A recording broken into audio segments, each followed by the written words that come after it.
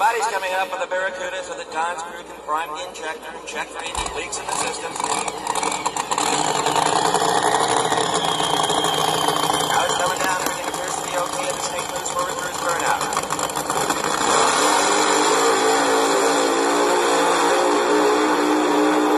Oh, baby, have you ever seen a burnout like that? A moving fog bank here at the beach? The snake. The snake is is ready.